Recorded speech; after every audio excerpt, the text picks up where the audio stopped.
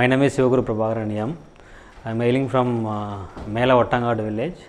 It belongs to uh, Pattukkottai Taluk, Thanjavur district. And uh, I was from village background. My village is uh, entirely dependent on agriculture uh, economy, uh, particularly coconut and paddy.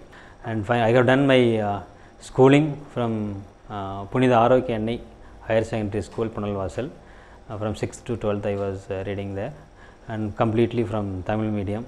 And uh, my after uh, plus two, I was uh, I have secured a school pass, school topper. But uh, I was lagging in awareness also how to how to proceed after uh, after my higher secondary education.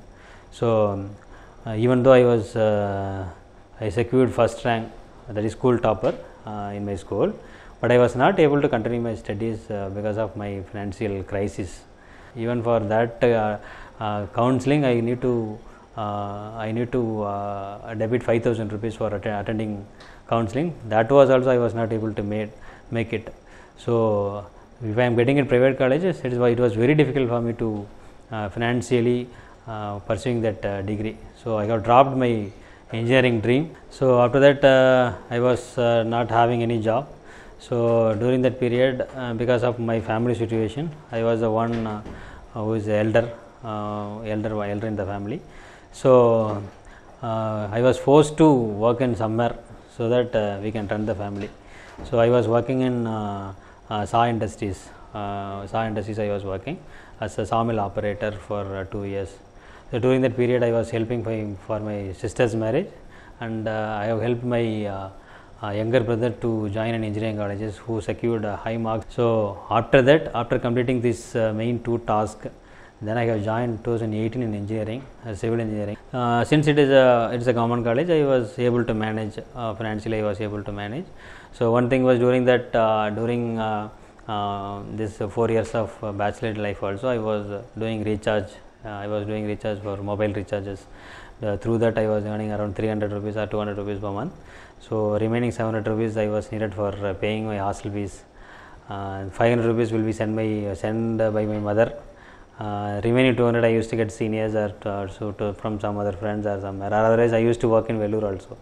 So like that I was managing for four years. So I met sir uh, and the second day itself I came from Vellore to Chennai.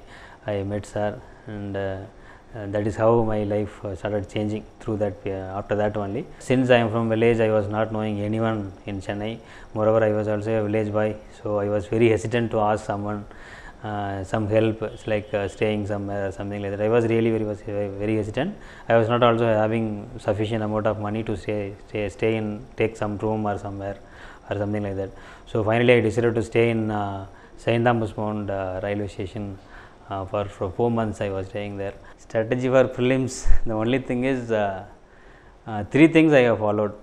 One thing is uh, basic books one time, second time, and third time. Three reading at least I used to have the basic basic books that everyone knows.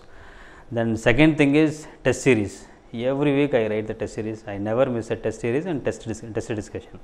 That's very crucial part uh, for uh, cle- cle- clearing uh, prelims. eh. And um, third thing was previous year question paper and remembering the question papers and each and every word present in the UPSC question paper. That was my uh, third aspect because uh, each and whenever this word the word which is uh, mentioned in the question paper repeated, I used to recall many things. So that um, moreover many questions are repeated. If you are working on the same question in and around, the same question is repeated.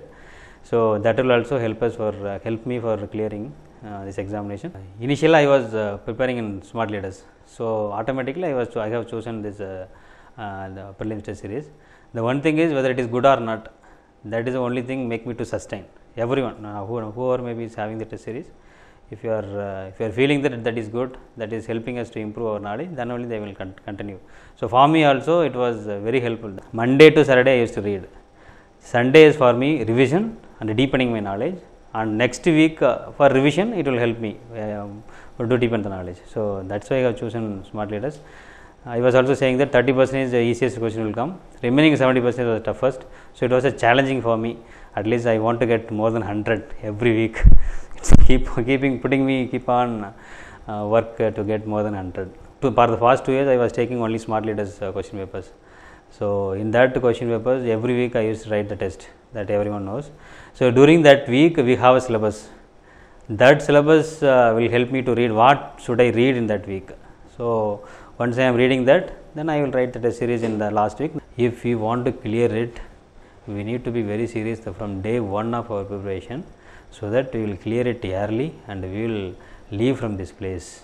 So, see, see, sincerity means nothing like uh, simply reading and reading and reading. Now, sincerity it also involves hard work. Every day, uh, every day we need to read particular syllabus and we revise at the weekend and write the test and revise it. So, nothing to afraid. Many people uh, they used to say, "What is the secret? What is the secret? What is the secret?" Everybody they are asking, "What is the secret for prelims, mains?" I never say that nothing, there is nothing like uh, any shortcut. Only there is a straight route, uh, which is which is also very short. So, uh, I used to say that read and revise and write the test series and deepen your knowledge and again read and write the exams. So, that is my uh, uh, strategy I was.